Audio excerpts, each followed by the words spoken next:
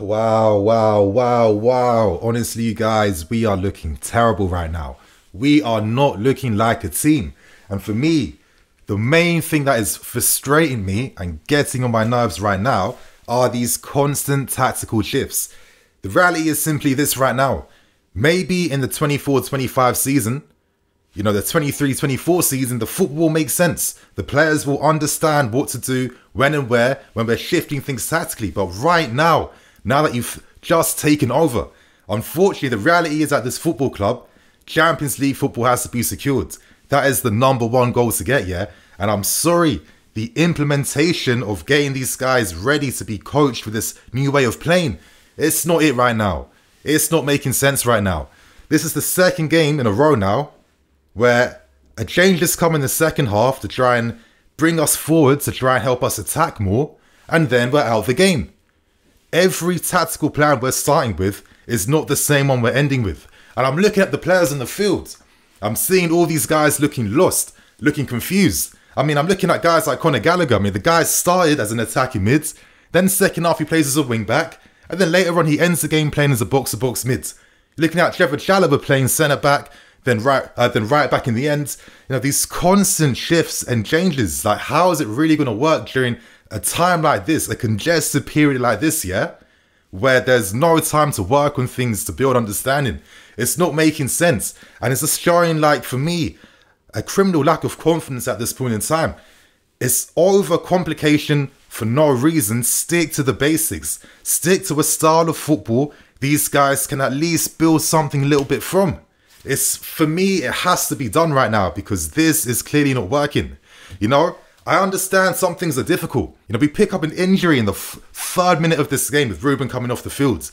I could see the game plan of isolating him on the right hand side to go 1v1 could have been helpful to get us forward up the field at least compared to the minimal amount of counter attacks we were creating in that first half. Yeah, I get that. I understand that injuries to your Kantes, Fofanas, so many players right now, that's going to impede things and make things a bit harder. But during times of difficulty, stick to the basics a little bit. I thought that was the plan today. I thought in the first half, we dropped the lines back, we defended. You know, we defended most of the game in that in that first half playing 5-4-1 with Gallagher, Mason Mount having to drop back in midfield, having to do a lot of dirty work and groundwork, which unfortunately meant that they couldn't quickly support Armando Broja up front as many times as they want to. It meant that when they're receiving the ball, they've got two Newcastle players on them time and time again. And it comes down to this pitiful midfield we have. Like, when I'm online, when I'm on Twitter, when I'm seeing opinions, the amount of hate that goes towards your mounts, that goes towards your Gallaghers, these few players that take the brunt of every poor game we have, it's actually so stupid. It's actually so dumb for me, the biggest culprits I've been seeing in this team for so long is this poor, pitiful midfield. I am done. I'm so bored of these short passing merchants who don't introduce nothing to the game. And the thing is, yeah, Jorginho and Kovacic have been mid for the entirety of this season. They have not stepped up.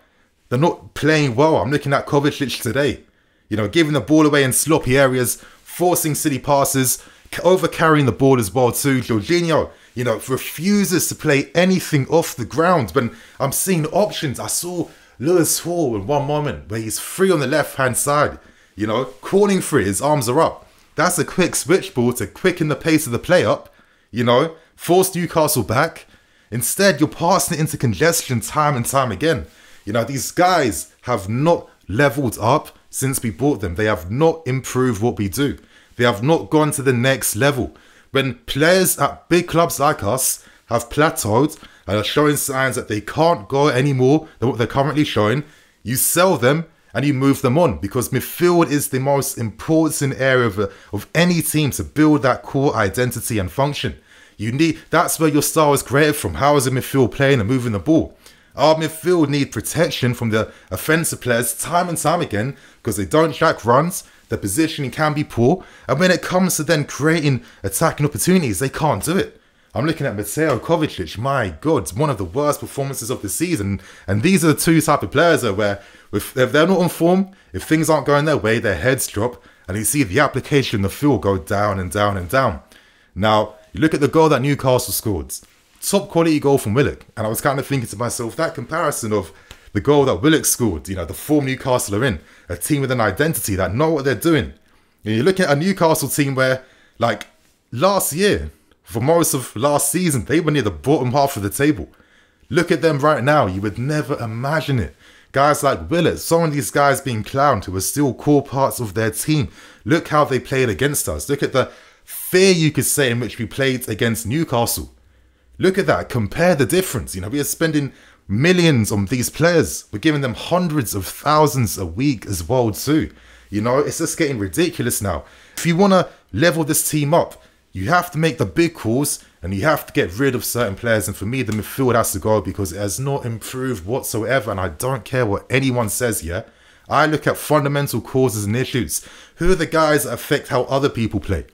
And for me, most of these seniors are affecting the young potential of the players. I'm looking at someone like Pulisic, where I'd always have hope for this guy, but I'm seeing him plateau. I'm looking at Mason Mount now. I'm starting to feel like he's plateauing a little bit as well too. I'm seeing a lot of these guys. You know, if you're going to focus on top quality young players to take you forward in the future, these seniors we've got around them, these aren't the guys to take them absolutely anywhere, yeah?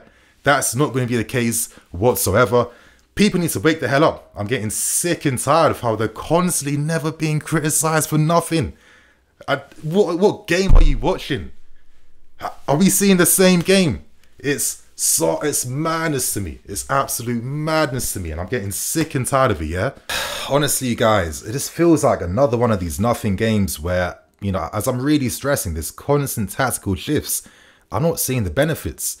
I would have accepted just grinding this result. I thought that was the main game plan. I thought the reason why we even dropped the defensive lines against Newcastle, the reason why Broja is playing up front to offer that counter-attacking threat, to run the channels, to be the option wide, the reason why we had your, you know, Mounts and Gallagher's playing as attacking mids.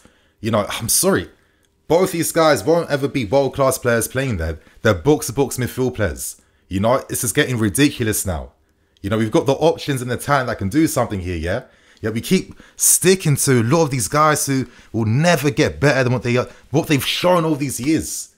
I'm looking at Zakaria. Why is this guy not even getting minutes in the team? I thought we signed a DM, a winning midfield player. He's not playing. The guy's played two games and he's looked decent. Why is he not getting any confidence and opportunities, especially when the guys ahead of him have not been good enough and have not been playing well enough and don't lead the team or do anything? Wow, it's just like the, the definition of an insanity for me. I'm seeing the same stupid mistakes season by season.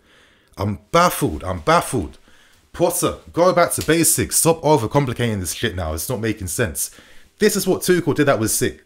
When he came in, he knew exactly how we're going to play such to the structure. Of course, in the end, it was never going to level us up to help us really compete for the league. Of course, when you're losing out on certain players, you have to go on the market. Tuchel himself is saying things like, listen, a lot of these guys we're signing are just maintaining status quo. They're not really improving us because of some of the options we left. You know, I can't build from it. I understand that. For me, I felt the way we played football, of course, is benefiting your Covers, your Georges, all these guys that were never going to become world class players. And it was just impeding on the talents of the young talents that we had. This is the contradiction that wasn't making sense. And it's why, in the end, offensively, we had no ideas, no nothing. And that's as good as we could get under him, really. And then in the end, he was moved on. But I think Potter, if you want to make sure you're here in the long term, you can't be doing this thing of swapping tactics like every 20 minutes in the game. I mean, come on. You're giving the team absolutely nothing to work with, for God's sake. How is it making any sense now? You know, you're giving the advantage to teams, teams who are structured, who have an identity that have been playing together for time. We keep losing it during these stupid tactical shifts, left, right, and center. and Then we're out of the game because we don't have any of the patterns of play or understanding to play through these teams. It's, it's too much, Potter. It's too. Bring it back to basics now, yeah? Otherwise, you're going to create a situation where there'll be more bad blood brewing behind the scenes. A lot of players will be angry and upset. And then when that starts to happen, normally as a manager, your time is then starting to come to an end. I hope it's not going to be the case because, my God, you guys, you know, if we're going to level up as a club, we have to have some brutal, tough decisions. All you guys focusing on the wrong players, the wrong targets of your frustration. You know, can you really supplement top players like Leao, top players like Nkunku, with guys like Kovacic, Jorginho, plus I'm even looking at Koulibaly for God's sake. I'm gonna be. I'm, the reason why I've been a lot harsher on him is because he's signed at 31 years old. He's in the prime of his career. It's different standards when you're 31. It's not Rudiger when he came as a 23, 24 year old and had the license to grow and improve. You already peaked as it is. And the struggles I'm seeing from this guy, you know, collective failure down that left hand side of Jorginho and Kovacic, you know, leaving too many gaps out wide. And then Koulibaly, you know, once he's he has to move wide to try and defend and and, and, and, tackle and and, and, and and prevent dribblers running past him, he can't do it. He's showing he can't do it. You know, Lewis Hall, you know, credit to the kids. Wow, what an introduction. You know, first Prem debut. Tough battle versus Newcastle. These guys were going in hard. It was a battle on that field. And I give credit to the kids, yeah, for stepping up and showing he was willing to have that fight as well too. He's not getting proper support or protection from him. Ball over the top from over Lewis Hall and then Koulibaly just gets done differently by Almiron. And what does this guy do when he panics? He just Oh, he just literally throws, he goes for these silly, ambitious tackles. And these ambitious tackles are silly slide tackles that are easily read because the opponent knows that they've got in his head and he's panicking. He's giving away a stupid yellow card, trying to win an impossible ball for no reason. This looks like some schoolboy shit to me, I'm sorry. This doesn't look like someone who's 31 years old, supposed to be the best centre back in Serie A when he left to come to us. I'm not seeing that at all. You know, I'm looking at some of these guys who I feel are weaknesses are weaknesses that affect the performance and ability of other players. I'm sorry, Potter, you need to have to make some brave damn decisions now, you know? Some brave decisions. A lot of these guys have to go eventually. Hopefully, January something can happen. But there's solutions in this team right now. Turn to Zakaria, give this guy an opportunity.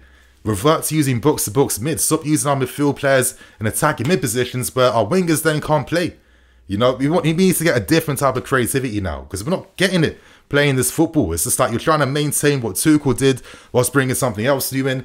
It's all this contradictions is going absolutely nowhere. And listen, if you want to be in the long run, to be able to take control of us and push us to those levels you think you can bring us to, you need to step up what you're doing in the short term because this equally matters right now, yeah? Honestly, like the amount of games we're losing in a row, this is. I can't remember the last time really seen this. Maybe it was it maybe Lampard when it was that bad. It's actually mad and baffling to be fair. No, no real attacking threat, no nothing. And listen, I gave my two cents on why I think what I think the issues are, and yeah, honestly, guys, just the frustration and anger is nah, nah, nah. It's, it's, it's not the one. So I'm gonna just end things now before I start getting too mad. Share your thoughts and opinions. I don't know what you guys are saying about this game, but uh, yeah, see you in a bit.